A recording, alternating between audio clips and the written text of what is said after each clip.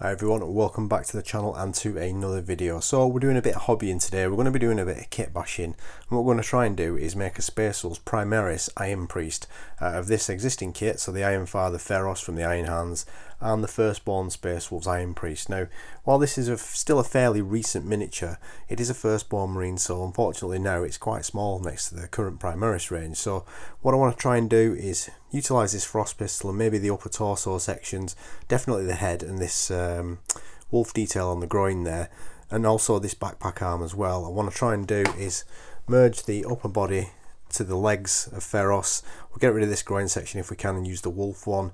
Uh, we'll get the head in there, hopefully try and use the Space Wolves chest rather than this one.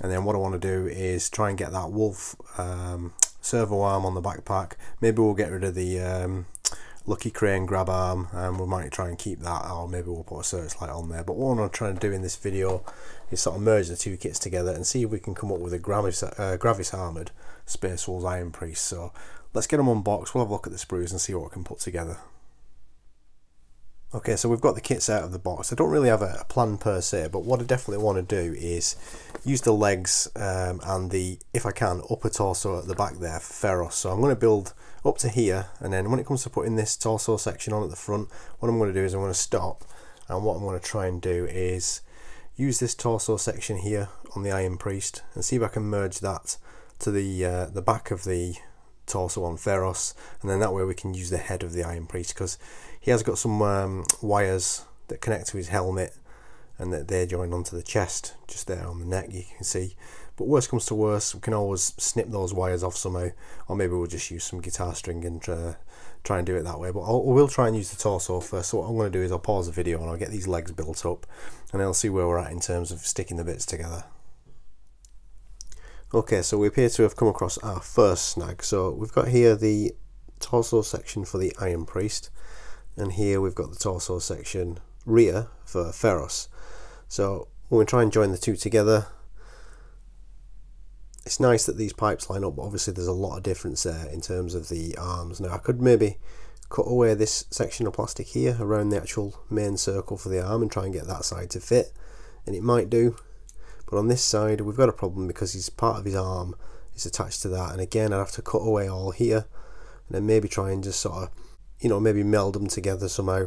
I'm not sure I'm going to be able to do that. So what I might have to do is cut around that belt section there and then try and fit that on instead and then maybe use these pipes. So I'm going to do a little bit of fiddling around and then uh, we'll come back to the video and see what we've managed to come up with so what I'm doing now is I'm slowly carving away the upper section of the Iron Priest torso. Sorry, just bring that into focus. So I can get to the uh, the belt section and the pipes there. So I'm to have to try and trim it down and make it fit the front torso of Feirros. So uh, yep, we're still working on it. We're still trying to get it to get something we can join together. So I'll see you in a sec. Okay, so as you can probably tell from the plastic all over the desk, I've actually done some cutting and uh, some plastic carving. I've got the torso section here for Feirros. I've got his belt section there, but I've took away the front armour and the purity seals. I've got rid of them, chopped them off because they're in the way. And instead, I'm going to try and use this um, wolf section here, which I've carved down uh, to try and make a midsection. I've got rid of the torso and the piping. But this totem on the left hand side, this wolf totem here, that's sticking out a bit too much and I think that's going to cause us some issues when we're connecting to the thighs on here. It's kind of catching there. So what I want to do is get this torso glued on. So that all fits nice. Sorry putting it together while I'm looking at the camera.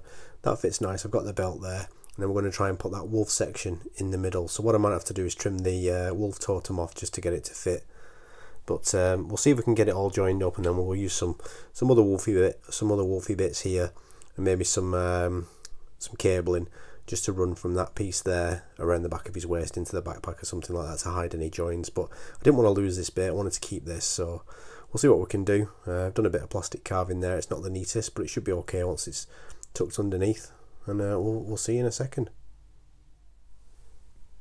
So as you can see, we've actually uh, made a little bit of progress. So I've skipped ahead a little bit. Um, I managed to get the wolf section on at the centre there on the abdomen. What I had to do was heat it a little bit just to bend it to fit under this armour plate here. I did have to cut that wolf totem away, but I'm going to cover it up maybe with another totem from the Space Wolves kit or a wolf tail or something like that. And again, I might just fill that gap as well with something um, suitably wolfy from the wolf kit. For the servo arm itself, what I did was I chopped off the crane just below, um, sorry, just above the, the, the join in that mortar. And then I've used a bridge section and then used the head uh, of the servo arm from the Iron Priest. And that bridge section is actually a Horus Heresy melter gun. Um, and I've managed to use the rod from the wolf head servo arm to connect to the melter gun so it looks like a kind of a piston and it's going to allow the head to articulate forward and backwards. And then for this section here where the cable used to extend from the uh, lucky crane on the Feirros's servo arm I might just run a cable from there to there something like that. And then for the other side I've managed to mount the Hellfrost pistol actually on the backpack where the heavy bolter would have gone. So I've used a section of the Iron Priest backpack just in the middle there to join onto the uh, bit that connected to the bolter. And I've managed to mount the Hellfrost pistol on a piece of servo arm that was part of the Iron Priest. I'm not too happy with the join there, I might try and just fill that with some green stuff and just neaten it up. But getting it mounted on there and getting the pipe for the heavy bolter to actually join up and connect I'm really pleased with how that's turned out. So he's got his servo mounted Hellfrost pistol which is really cool and now that that's done I can concentrate on getting the hammer on there. So I am going to use the arm that comes with Feirros with the the big axe. But instead of using the axe head I'm going to chop it just above that wire so just below this uh, circular section. And instead I'm going to put on the head of the hammer that comes with the Iron Priest. I don't think I'm going to be able to save that totem because normally he has it at sort of that angle and it dangles down but Feirros is going to be holding it sort of at this angle so that totem might look like it's at an odd angle. But maybe we can cut it off and switch it around or maybe have the head that way around uh, so it's dangling down a little bit more. We'll have to wait and see. But yeah we'll get that um, cut up and glued on in a minute. And then also we've got the Iron Priest head which will be going in there. It does actually fit nicely in the gap. And I also managed to sorry if I can just bring it into focus on the video cut off the wires that the helmet joins to uh, that were that were attached to the Iron Priest torso.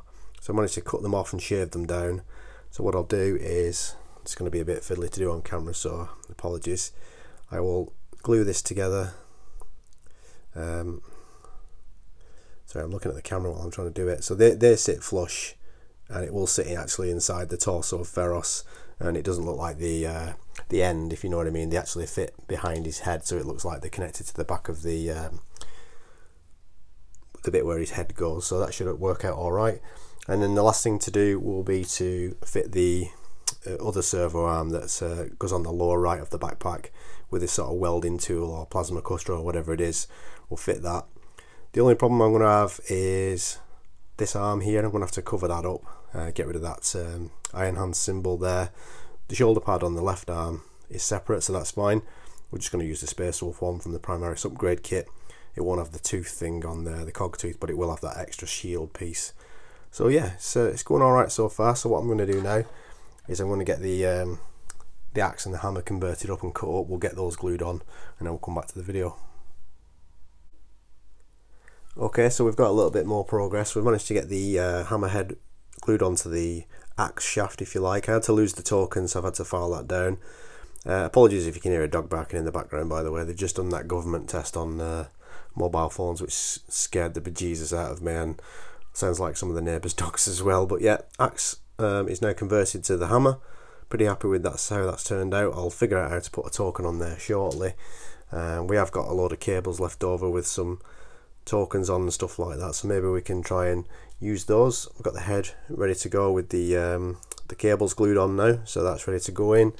And also the right arm, I've noticed that um, one of the clan symbols was on there and because the shoulder pad is moulded on rather than cut it off and make an absolute mess what I've done is I've managed to just use a scalpel and get rid of the the cogs out of the middle. I'll keep that cog there as like a mechanicum cog um, and I'll see if I can glue a skull or something in there just to cover it up.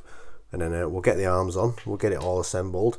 We've got the uh, plasma cutter to go on the rest of the backpack as well and then we'll add some finishing touches as well because what I want to do is cover this um, ammunition pod up where all the bolt shells would have been for the heavy bolter.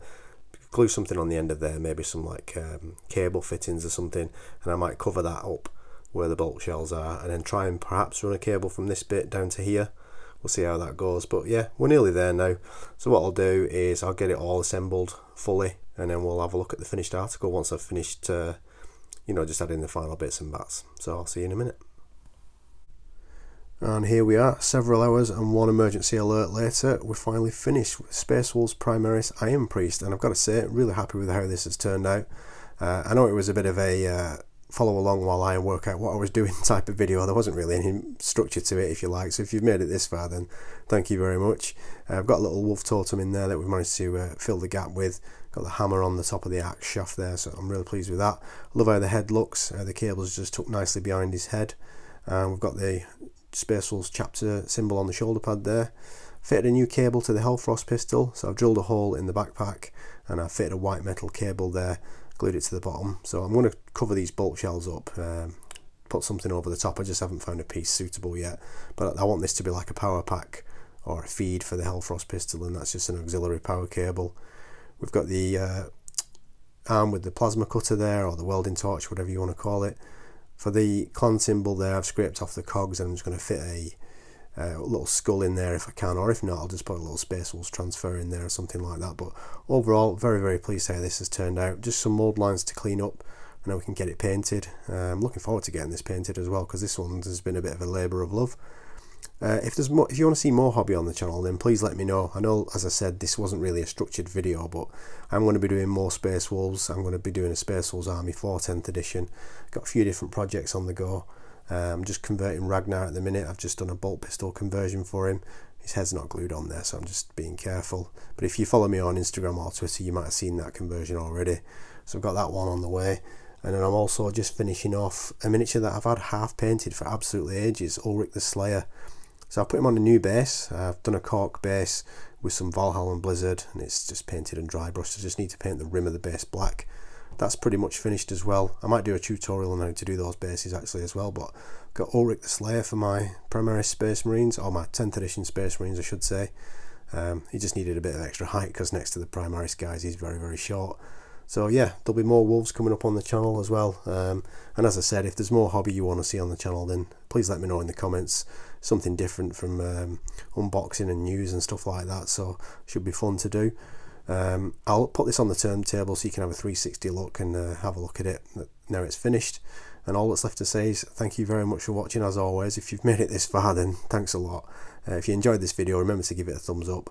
And also if you're going to Warhammer Fest then uh, hopefully I might see some of you there. I'll be posting pictures on Instagram and Twitter as well so uh, you'll probably see what I look like on those pictures if you've not done already. Um, and if you do see me, please come and say hello. I know I'm only a small channel, but uh, it's great meeting people all the time in the hobby. So if you do see me at Warhammer Fest, please say hello. And until then, all that's left to say is thank you very much for watching as always, and I'll see you in the next one. Cheers.